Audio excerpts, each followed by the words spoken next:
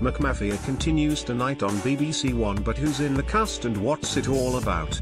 Described as groundbreaking new international thriller, McMafia is an eight-part series created by Hossein Amini and James Watkins and inspired by Misha Glenny's best-selling book of the same name. McMafia cast the show charts Alex Godman's James Norton journey as he is drawn deeper and deeper into the world of organized crime. As the English-raised son of Russian exiles with a mafia history, Alex has spent his life trying to escape the shadow of the criminal past, building his own legitimate business and forging a life with his girlfriend Rebecca, Juliet Rylance. But when his family's past returns to threaten them, Alex is forced to confront his values to protect those he loves.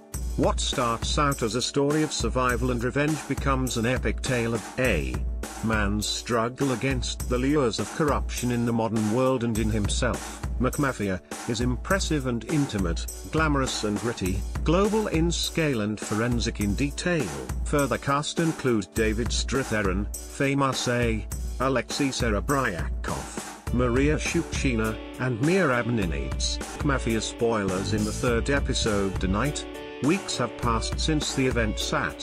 The end of episode 2 and business is now thriving in Prague. With help of Semiyon's investment, Benny's, Karel Roden, has grown his operation, leaving Vadim, Merab Ninidze, concerned and confused, deciding to take matters into his own hands. Vadim arrives in Prague determined to get answers, by whatever means necessary.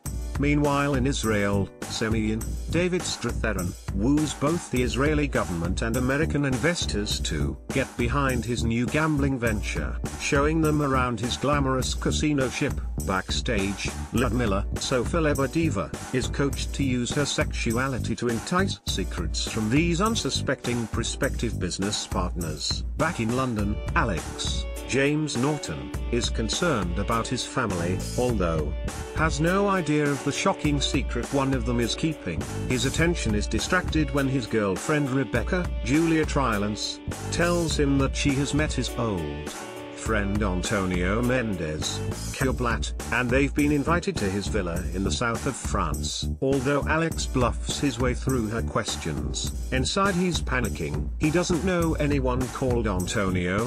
McMafia airs this evening, Sunday, January 7th, at 9 p.m. on BBC.